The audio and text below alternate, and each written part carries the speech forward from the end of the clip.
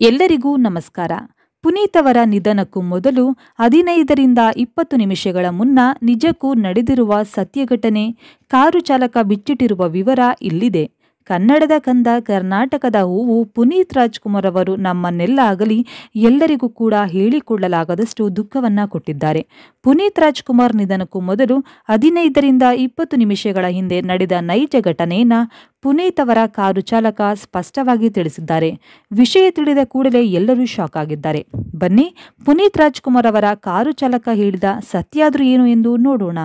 ಅದಕ್ಕೂ ಮುನ್ನ ಪುನೀತ್ ರಾಜ್ಕುಮಾರ್ ಅವರು ಮತ್ತೊಮ್ಮೆ ಹುಟ್ಟಿ ಬರಲಿ ಅಂತ ನೀವು ಕೂಡ ಬಯಸೋದೇ ಆದರೆ ತಪ್ಪದೇ ಈ ವಿಡಿಯೋವನ್ನ ಲೈಕ್ ಮಾಡಿ. ಹೌದು, ಅಕ್ಟೋಬರ್ ಇಪ್ಪತ್ತೊಂಬತ್ತರ ಬೆಳಿಗ್ಗೆ ಪುನೀತ್ ರಾಜ್ಕುಮಾರ್ ಅವರ ಆರೋಗ್ಯದಲ್ಲಿ ಸ್ವಲ್ಪ ಏರುಪೇರುವಾಗಿತ್ತು ಆ ಸಮಯದಲ್ಲಿ ಅವರ ಜೊತೆಯಲ್ಲಿ ಇದ್ದವರು ಕೆಲವೇ ಕೆಲವು ಮಂದಿ ಮಾತ್ರ. ಆ ಪೈಕಿ ಕಾರು ಚಾಲಕ ಬಾಬು ಕೂಡ ಒಬ್ಬರು. ಫಿಟ್ನೆಸ್ ಬಗ್ಗೆ ಅತಿ ಹೆಚ್ಚು ಕಾಳಜಿ ವಹಿಸುತ್ತಿದ್ದರು ನಟ ಪುನೀತ್ ರಾಜ್ಕುಮಾರ್. ಅವರಿಗೆ ಹೃದಯಘಾತವಾಗಲು ಹೇಗೆ ಸಾಧ್ಯ ಎಂಬ ಪ್ರಶ್ನೆ ಅನೇಕರಲ್ಲಿ ಕಾಡುತ್ತಿದೆ. ಅಕ್ಟೋಬರ್ ಇಪ್ಪತ್ತೊಂಬತ್ತರಂದು ಇಡೀ ಕರುನಾಡಿನ ಪಾಲಿಗೆ ಕರಾಳ ದಿನ.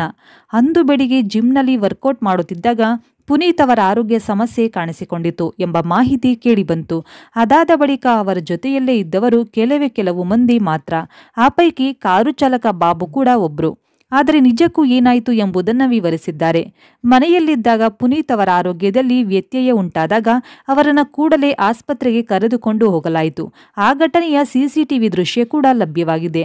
ಆ ಸಂದರ್ಭದಲ್ಲಿ ಏನಾಯಿತು ಎಂಬುದರ ಬಗ್ಗೆ ಕಾರು ಚಾಲಕ ಬಾಬು ಅವರು ಪ್ರತಿಕ್ರಿಯಿಸಿದ್ದಾರೆ. ಐದೇ ನಿಮಿಷದಲ್ಲಿ ಮನೆಯಿಂದ ಆಸ್ಪತ್ರೆಗೆ ಹೋಗಿದ್ದೆವು. ಡಾಕ್ಟರ್ ರಮಣ್ ರಾವ್ ಅವರ ಕ್ಲಿನಿಕ್ಗೆ ಹೋಗಿದ್ದೆವು. ಕಾರಿನಲ್ಲಿ ಹೋಗುವಾಗ ಪುನೀತ್ ಅವರು ಮೊಬೈಲ್ನಲ್ಲಿ ಮಾತನಾಡುತ್ತಿದ್ದರು ಬಜರಂಗಿ ಟೂ ಚಿತ್ರದ ರೆಸ್ಪಾನ್ಸ್ ಬಗ್ಗೆ ಫಿಲಂ ಡಿಸ್ಟ್ರಿಬ್ಯೂಟರ್ ಮಂಜುನಾಥ್ ಜೊತೆ ಮಾತನಾಡುತ್ತಿದ್ದರು ಎಂದು ಬಾಬು ಹೇಳಿದ್ದಾರೆ. ಡಾಕ್ಟರ್ ರಮಣ್ ರಾವ್ ಕ್ಲಿನಿಕ್ನಿಂದ ಕೇವಲ ಹತ್ತು ನಿಮಿಷಕ್ಕೆ ವಿಕ್ರಮ್ ಆಸ್ಪತ್ರೆಗೆ ಹೋದೆವು. ಅಲ್ಲಿಗೆ ತಲುಪುವಷ್ಟರಲ್ಲೇ ಪುನೀತ್ ಅವರು ಸುಸ್ತಾಗಿದ್ದರು ಎಂದು ಬಾಬು ವಿವರಿಸಿದ್ದಾರೆ.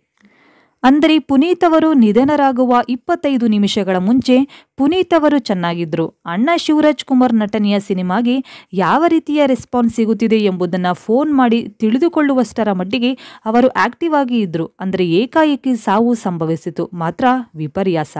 ಪುನೀತ್ ನಿಧನರಾಗಿ ಆರು ದಿನಗಳು ಕಳೆದಿದೆ. ಆ ಪ್ರಯುಕ್ತ ಡಾಕ್ಟರ್ ರಾಜ್ಕುಮಾರ್ ಅವರ ಕುಟುಂಬದವರು ಐದನೇ ದಿನ ಕಂಠೀರವ ಸ್ಟುಡಿಯೋದಲ್ಲಿರುವ ಅಪ್ಪು ಅವರ ಸಮಾಧಿಗೆ ಹಾಲು ತುಪ್ಪ ಬಿಡುವ ಕಾರ್ಯವನ್ನ ನೆರವೇರಿಸಿದ್ದಾರೆ. ಅಪಾರ ಸಂಖ್ಯೆಯ ಅಭಿಮಾನಿಗಳು ದೂರದ ಊರುಗಳಿಂದ ಬಂದು ಸಮಾಧಿಯ ದರ್ಶನಕ್ಕಾಗಿ ಕಾಯ್ತಿದ್ದಾರೆ.